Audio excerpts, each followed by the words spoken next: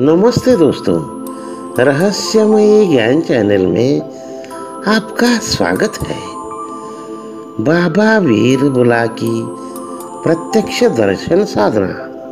दोस्तों, शक्ति तो सभी देवी देवताओं में है, परंतु ईश्वर की शक्ति ही गजब की है। जहाँ अपनी बात पर रुष्ट होकर अड़ जाए तो फिर बड़े से बड़े देवी और देवता भी इनके सामने हाथ जोड़ते नज़र आते हैं। फिर चाहे माँ काली ही सामने क्यों ना हो। पुत्र भैरव के आगे उनकी माँ काली की भी नहीं चलती है। क्योंकि भैरव हुक्म मानते हैं तो सिर्फ़ सदाशिव महाकाल का। इसके अलावा किसी का नहीं। फिर चाहे आदि शक्ति ही क्यों ना हो। ठीक उसी तरह बाबा बुलाकी के किसी अन्य के घर में प्रवेश करने पर उस घर की सारी शक्तियाँ खुद घर का कोना पकड़ लेती है। उस अशांत रूप में भी मानते हैं तो सिर्फ़ देवी की बात, क्योंकि हर देवी के स्थान पर कहीं खुलकर तो कहीं गुप्त रूप से भैरव अगवानी है। और भैरव बाबा सभी देवियों के लाल माने गए हैं। इसीलिए इस वीर की बैठ सभी देवियों के पास है। सभी देवियों का ये वीर बुला की जिसे चाहे उसे मना ले, जिसका चाहे उसका हो जाए। बाबा श्री वीर बुला की कोई और नहीं। स्वयं बाबा महाकाल भैरवनाथ है, जो कलयुग में मसान भैरव की छवि के साथ बुला की मसान के नाम से अवतरित हुए हैं। बाबा बुला की बहुत ही पवित्र शक्ति है, मालिक है। इनकी छवि कुछ गंदे साधकों ने गंदी कर दी है।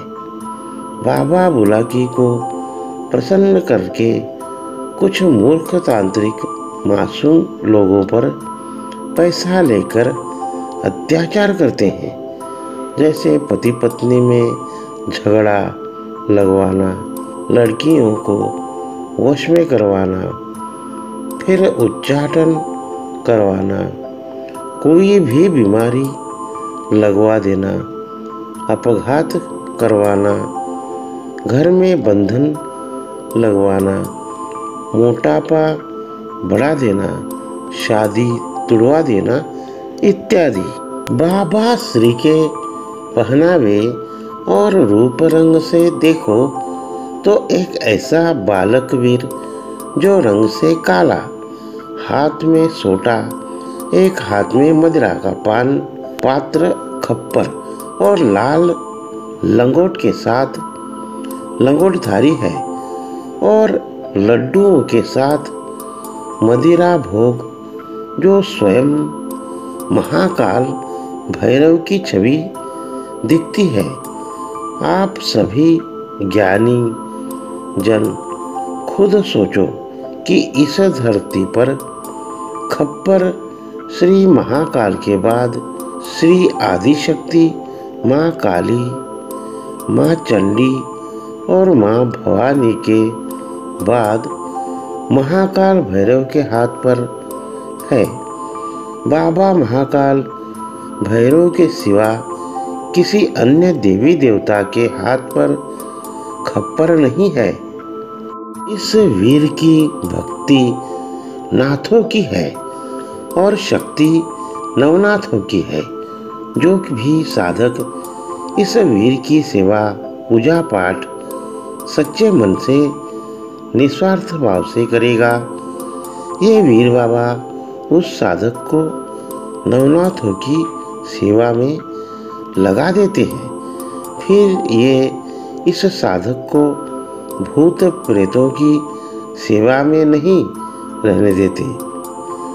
उस साधक को लेकर नवनाथों में और सिद्धियों में डट जाती है। इस साधना में भी प्रकार के कार्य किए जाते हैं। सिर्फ़ किसी का नुकसान करने का इरादा मन से निकाल डालें, ऐसी साधना प्राप्त होना बाबा श्री का कृपा प्रसाद ही समझे। आज के समय में तांत्रिकों ने शाबर मंत्रों से मासूम लोगों के ज़िंदगी से खेल खेलना शुरू कर दिया है, क्योंकि वो जानते हैं, जिस पर भी बुला की या मसानी चढ़ा दिया जाए, उसको वही तांत्रिक बुला के चढ़ाकर मुक्त कर सकते हैं। मसानी का काट बाबा श्री ही है और उनका विद्या वही काट सकते हैं। इस साधना से स्वयं के कार्यों के साथ साथ अन्य लोगों के भी कार्य किए जा सकते हैं। जिस पर बाबा श्री कृपा कर दें, वो माला माल हो जाता है। और ये बात उनके सभी भक्त बिना किसी किंतु परंतु के मानते हैं। इनके पूजा की सामग्री इस प्रकार है। एक बूंदी का लड्डू, एक बर्फ़ी, दो पान का पत्ते, एक जायफल, एक सुपारी, दो लौंग, दो इलायची, ग्यारह बतासे एक शराब की बोतल, थोड़ा हनुमानी वाला पीला सिंदूर, सात हरी चूड़ियाँ, थोड़े साबुत उड़द के दाने, दही बड़ा उड़द का हो। श्री बाबा वीर बुला की यंत्र, ताबिज और रक्षा कवच और लाल धागा। इस साधना में किसी भी प्रकार का मांस नहीं चढ़ाना है। क्योंकि यह पूर्ण रूपेण तामसिक साधना नहीं है। इस साधना का विधि इस प्रकार है। नवनाथों को प्रणाम करके शनिवार से साधना प्रारंभ करें और रक्षा कवच को लाल धागे में डालकर पहन ले।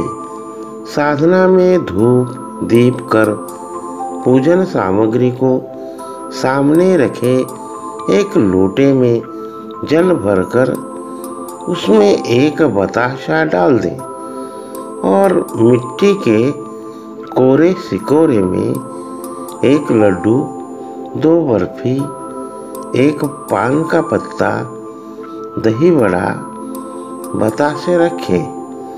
लड्डू के पास दो लौंग, दो इलायची और श्री बाबा वीर बुला की यंत्र ताबीज को रखें और उस पर जन्नत फिरदोस नाम के इत्र का फाहा लगा दे। उस पर आधा बोतल शराब चढ़ाए। बचा हुआ आधा बोतल शराब संभाल कर रखें।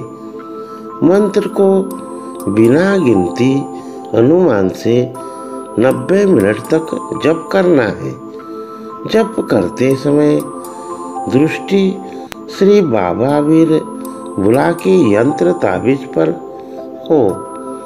जाप रात को दस बजकर तीस मिनट के बाद करना है, ताकि बारह बजे के बाद ही जाप पूर्ण हो जाए।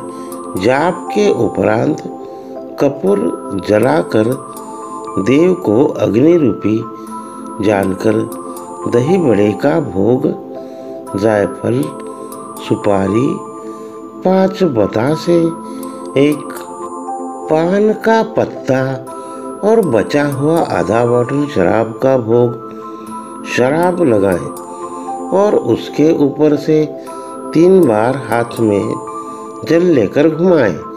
अब पाँच लोगों का अपनी कोई भी मनोकामना बोलते हुए चढ़ाएँ। मिट्टी के सिकोरे में कपूर पर भोग दी हुई सामग्री में थोड़ी शराब भी सिकोरे में डाल दें। फिर वह सिकोरा घर से बाहर कहीं आग के पौधे की जड़ में रख कर आए।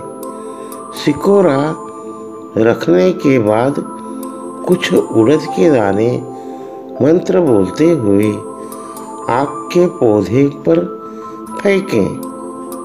साधना काल में अत्यंत सावधान रहे। साधना के दौरान शराब, मछली, किसी भी प्रकार के मीट का सेवन भूल के भी ना करें। इस साधना का मंत्र इस प्रकार है। ओम नमो आदेश गुरु का या वीर बुलाकी, मसान तार का तरकस लोहे का तीर खिंचेगा वीर बुलाकी, मसान माता का चीर। लाल लड्डू लौंग सुपारी, जिस पे चले वीर बुलाकी।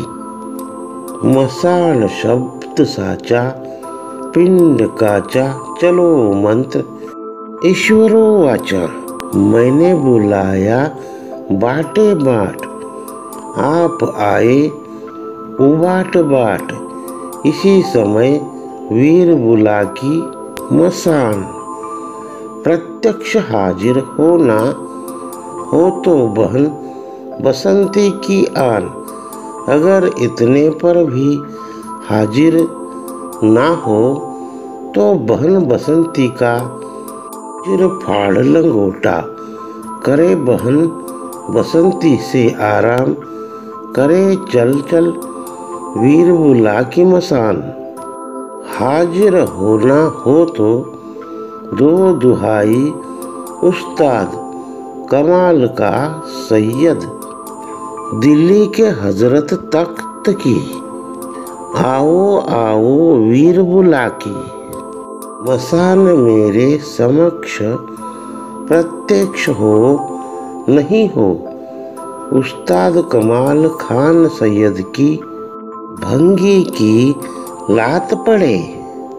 इस मंत्र से बाबा श्री प्रत्यक्ष दर्शन दे सकते हैं। दोस्तों, अगर हमारा वीडियो आपको पसंद आया हो तो प्लीज़ सब्सक्राइब करें और लाइक करें। धन्यवाद दोस्तों।